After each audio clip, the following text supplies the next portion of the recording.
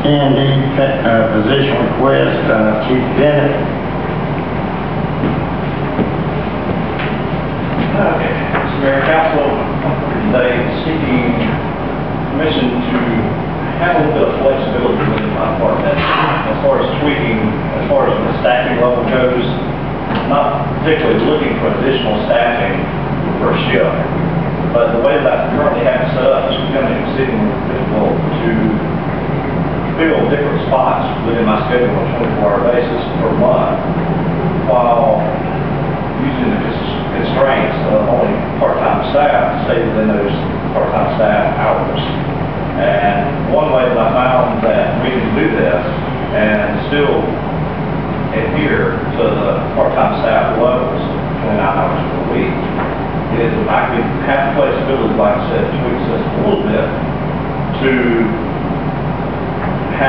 instead of having two part-time people per week on two 24-hour shifts, is convert it to one full-time person only working two 24-hour shifts, if that makes any sense at all. And I can do so within the budget, within the salary line item budget, so I'm not coming requesting additional funding for salaries. If I can do that, stay within the parameters of our current budget on salaries and as far as retirement goes. This has probably been an issue over the last six to eight months, and it's something new we're doing, so I'm looking to tweak it, to make sure that we're being effective with it, and legal also, to probably, I'd say within, uh, every month over the last six months, that I'm having to work some of my individuals, thirty-six, sometimes forty hours within a particular work week, which goes outside naturally the boundaries of part-time. So I'm looking at different ways, and this one full-time person, I can bounce around within every month's schedule to fill these voids, and I don't have to worry about that individual going above that twenty-nine hours. So, like I said, I'm not looking for additional staff mm-hmm. per shift. I'm just looking at that flexibility to have that one full-time person, so I don't have to fear and stay within the confines of what you guys have drafted for me as far as part-time staff. And I know I guess that was last September, you guys get permission to go ahead and write safer grant. The safer grant, if it goes through, going by the, what I was reading to you guys, to, for the primary person having the safer grant, is to ensure we have two staff on duty twenty-four hours a day, to increase the safety of the citizens and the firefighters themselves. If the safer grant goes through, this one position is going to be needed more if the safer grant goes through. We need it tremendously now, the safer grant goes through, then we're gonna have those three people that will be taking periodic vacations, sick leave, be off and training. This individual, that's one full-time person, would then float amongst those three full-time positions bouncing back and forth, plus the part-time staff we have now. It will just give me a, a much greater tool to stay within the confines of the FLSA and the city employee handbook. Okay, so you're gonna, we're gonna, you're gonna get rid of one part-time. So we're I'm say, not, I'm not gonna get rid of anybody. I mean, I'll, I just use that as a, as a frame of reference. All part-time staff is gonna remain there. So instead of having employee A and employee B pull at one 24-hour shift each per week, employee A is gonna pull both of those shifts. Now, employee B is gonna spot around like he normally did, he just wouldn't have that second shift that week. so you're asking for additional maintenance. No additional man. It'll be in-house, so Well, you're There will be more money spent. Thirteen hours more, twenty then? So you're asking. Well, if you put employee, well, if you put employee A and employee B, they're spending forty-eight hours per week. So now employee A is gonna get both of those, so forty-eight is a wash, is actually what it is. It's gonna equal out. But we're not paying uh, retirement or medical or anything on those two part-time employees, right? Uh, no, you would be correct. We do pay retirement. We, we do, which retirement is within the line item within the budget, and it will absorb it without having any additional cost. The Salary line item also will absorb it, because I'm not gonna be expending any more salary funds per se. But not healthcare. but not healthcare. That would be the only additional. I know after Well, sick leave, um, got sick leave, you got healthcare, you got a lot of additional costs.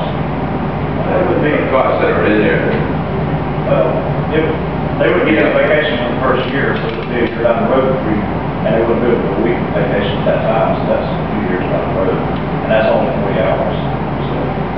well, the safer grant was, was be awarded in September.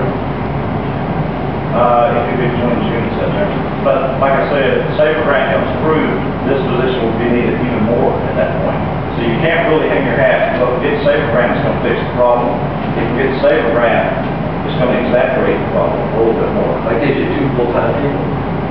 Sorry? The safer grant gives you three, three full-time.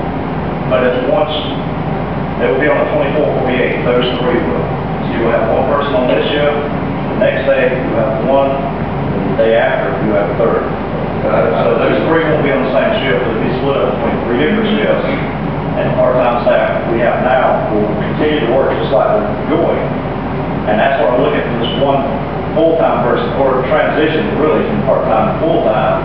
So that individual will give you that flexibility to fill these gaps in the schedule that we currently have. And even if the safer grant goes through, there'll be a few more little glitches and gaps that this will give me that leeway to fix those problems. Like I said, I'm not really asking for anything new or new position, it's just to tweak the system we have. Because the system we have, full or everybody part-time, is a very complicated system. It's to strain what little money we have, grateful to have what we have, to get as much bang out of the buck as we can possibly get. And, in doing so, we've I'm not gonna say inadvertently, we knew what we were doing, created a complicated staffing position to ensure that we're giving the city the best protection we possibly can at the very smallest amount of money possible to request. But this one full-time position, like I said, it's not gonna increase the budget on salaries or, or not, you know, Yeah. Workers' comp is not gonna increase, it's not gonna increase on retirement, but it's gonna, from a cost benefit perspective, benefits far, far outweigh the costs. Because we're probably gonna be looking four to six thousand dollars to take something like that. So, yeah, about ten thousand. Ten thousand, probably not, but that's speaking to the city manager, that's based on a mid fifty to sixty year old individual. And we would become close to hitting that high end, because just by the necessity of it, nobody on our staff is in their mid to upper fifties, so that, that number's gonna have to come down. Not saying we're gonna pick one individual, because it would be up to legally to everybody in the department. You intend to hire from within? That is my full intentions. I can't say absolute, but that's my full intentions. It'll be. You have individuals who are interested in that type of position? Probably half a dozen, give or take, that's already spoken interest. Uh, I really haven't conversed with them that much until we conclude tonight. Let them feel, you know, hopes up that it could possibly occur. But over the last year or two, I've had quite a few individuals that have approached me if something like this come up, they would really be interested in it. Yes, How how many full-time firemen do we have, including yourself? Including myself, they want, County, counting me, Pardon me? counting me. I have no full-time firefighters. We had one, what happened to that? We never, never had. Oh, we had the, well, I don't know, but, yeah. Every, ever since I've been here, every staff member I've had has been part-time. volunteer or Exactly. Well, But this time, like I said, that makes a tremendous need, and it does give me that flexibility. And, but I would come to you and ask for any additional staff, especially with safer grant looming. This is just a tweak to the current system. That's all and it you're, is. you're not gonna exceed your budget, which you put in for this year. I can't say that with absolute certainty. I can't say if it's ma- major storms gonna come in or huge fire incidents, because the way our system is, our off-duty part-time staff comes in and handles these major calls. Health insurance costs are above and beyond the request, and we have estimated that conservatively at ten thousand dollars. So that is the approximate request of additional funds that we see, uh, from admin for, for that. And staff uh, concurs with chief's recommendation, and we do have funds available within the general correctly, this horse's salary goes for this position. That salary itself, under normal circumstances, will not grow the budget. But I can't sit here and say, looking at the future, what kind of events are going to occur that can break between multiple hours that's unforeseen, what are type of disasters we have to avoid. So, if I'm understanding this correctly, because there's only one full-time person, and that's you, it makes it difficult to fill in the slots when our part-time people are gone for whatever reason. Exactly, because all of them do have full-time jobs the fire departments. And you are filling those, and you are filling those empty slots during weeks when people are gone for whatever reason, but you're doing that with part-time staff that should be at 29 hours or less. And I'm taking- in order to take care of that, Exactly. that, um, that problem, you're sometimes seeing 38, 39, 40 plus hours for that particular Exactly. Part-time employee. It probably occurs about three times a month. Three times a month? That- Or maybe more, at least three times a month, probably the- over the last six months, that I'm having to exceed, fill those gaps with some staff that may get up to 36 or 48 hours, full two 24-hour shifts, just to ensure coverage.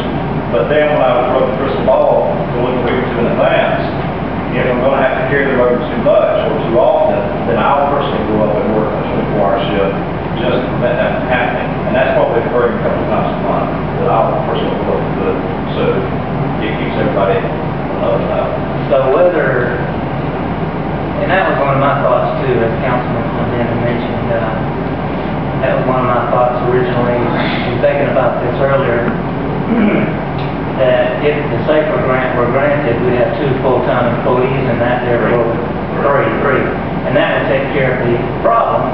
However, that presents a different problem, or a a situation rather, not a problem. But, uh, because those particular employees are required to take two 24-hour shifts a week anyway, Yes. right? Now, those, occasionally, they may work three.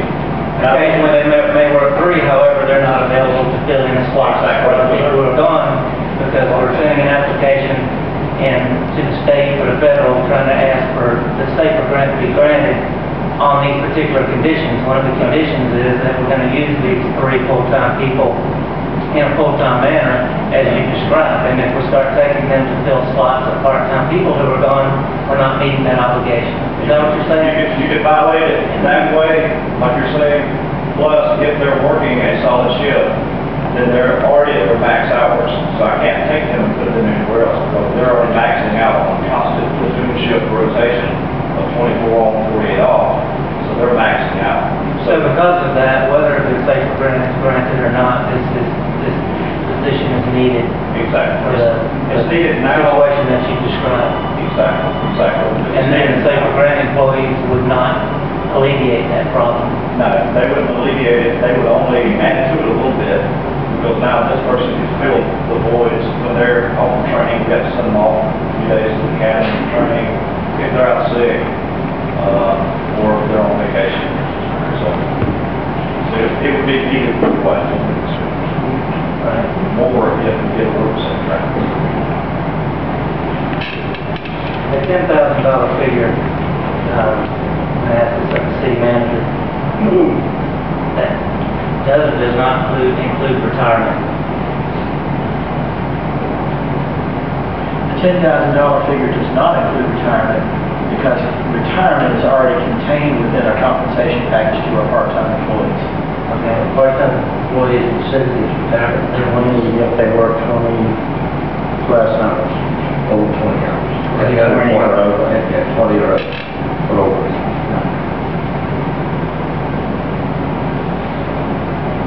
Any more questions for Chief Bennett? Thank you, Chief. Okay, At this time, I'll entertain a motion. Make a motion, we accept the uh, position request as stated by Jim We have a motion. Councilman Benjamin, do I hear a second? Second. Second by Councilman Davis. Favor? Aye. All opposed, right sign. Motion carried.